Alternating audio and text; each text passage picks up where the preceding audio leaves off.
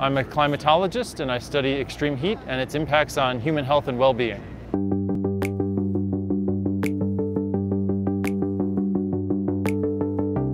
We're gathered here to talk about collaboration between the City of Tempe and many partners, including ASU, in tackling extreme heat, uh, but both as a problem that, that's here today that we need to be concerned about, and as a problem that we, we think is going to be growing over time as we have both urban and global driven warming.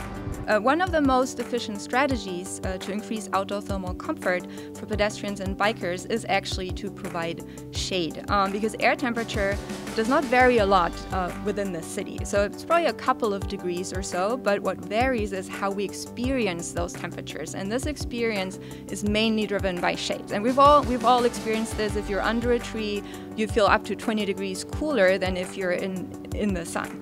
Over the next five years, we plan to plant over 2,000 more trees to further cool our parks as well as our sidewalks. And as Arizona's densest city, we know that we need to invest in public transit, bus, rail, bike, pedestrian infrastructure. It's vital that we do so and that we have an urban design that really aims at creating a cool environment uh, for our residents. It's no secret that each year temperature continues to reach record highs and greater stresses are continuing to be put on our communities personally. And so it's really, the onus is on my generation to address climate change in this specific way and to really find solutions that are long term.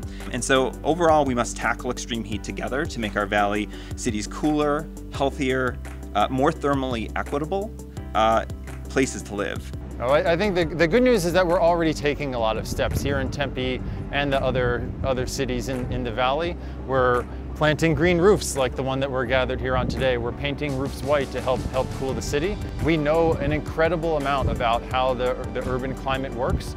And now it, it's, it, I'd say it's more so a matter uh, of how do we move the needle in our public institutions, with residents, with businesses, to, to really build a, a collective movement toward a, a cooler future. I encourage young and old alike to come together and join ASU, defend our future, the city of Phoenix and the city of Tempe to really help combat extreme heat. We can all work together uh, to make Tempe and Arizona cool again.